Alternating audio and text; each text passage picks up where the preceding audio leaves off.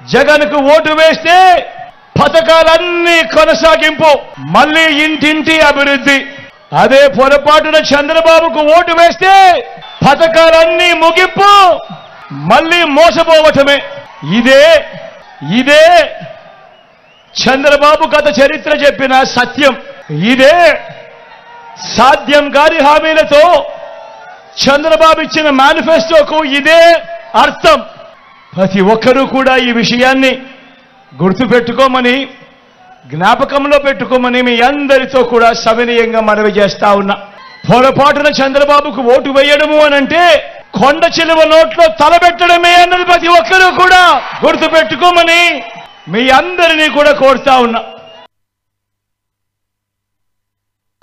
గత యాభై తొమ్మిది నెలలుగా మీ బిడ్డ పాలనలో చరిత్రను ఎప్పుడూ చూడని విధంగా గతంలో ఎప్పుడూ జరగని విధంగా మీ బిడ్డ పాలనలో మొట్టమొదటిసారిగా ఏకంగా రెండు లక్షల డెబ్బై వేల కోట్ల రూపాయలు. మళ్ళీ చెప్తా ఉన్నాను ఏకంగా రెండు లక్షల డెబ్బై వేల కోట్ల రూపాయలు.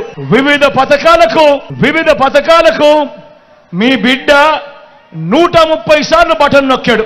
నూట ముప్పై సార్లు మీ బిడ్డ బటన్ నొక్కి నా అక్క చెల్లెమ్మల కుటుంబాలకే నా అక్క చెల్లెమ్మల కుటుంబాల ఖాతాలకే నా అక్క చెల్లెమ్మల చేతికే మీ బిడ్డ బటన్ నొక్కడం.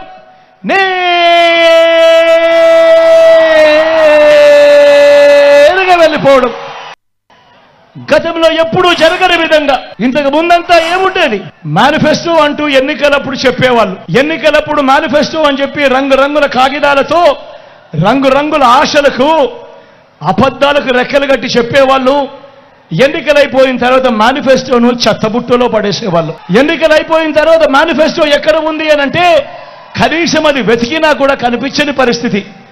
అలాంటి సాంప్రదాయాన్ని మారుస్తూ మొట్టమొదటిసారిగా ఈ యాభై తొమ్మిది నెలల కాలంలోనే చరిత్రలో ఎప్పుడూ జరగని విధంగా మీ బిడ్డ వచ్చిన తర్వాత ఏకంగా తొంభై తొమ్మిది శాతం హామీలను మేనిఫెస్టోలో చెప్పినేటివి అమలు చేసి మీ బిడ్డ ఆ మేనిఫెస్టోను మీ ఇంటికే పంపించి ప్రతి అక్కను ప్రతి చెల్లెమ్మను వాళ్ళ చిక్కడి చిరునవ్వుల మధ్య అక్క మీరే టిక్కు పెట్టండి.